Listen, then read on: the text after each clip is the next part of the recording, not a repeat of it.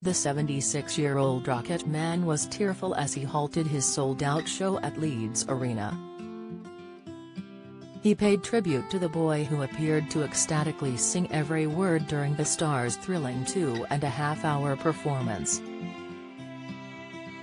Sir Elton's much-delayed farewell Yellow Brick Road tour is winding its way around the UK before a headline performance at Glastonbury.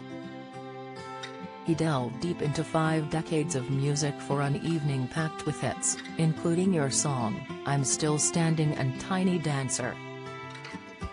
And in a touching moment he stopped to honor the blind teenager who he introduced as Louie.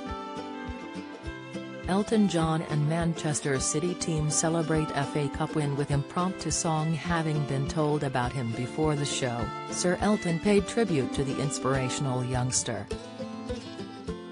His voice cracking with emotion, Sir Elton said, There's a little boy in the front row tonight called Louie. He can't see me but he can hear me. He just broke my heart the whole night.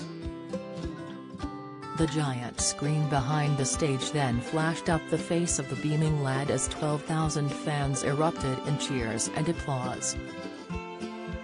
The star added, You are so special and you made me feel so great tonight.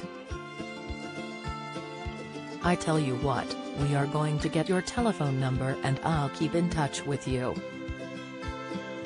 The Icon's global farewell tour has featured more than 300 concerts in a grueling schedule which began in Pennsylvania in September 2018 and will end in Stockholm on July 8. The star revealed he first played in Leeds at the university in the early 1970s, but this was his first performance since he officially opened the West Yorkshire City's Arena 10 years ago. He told fans, thank you for so many years of love and loyalty. This is my last tour. You've shown me more kindness on this tour than I can ever remember. I want to send all the love to this great city and great county,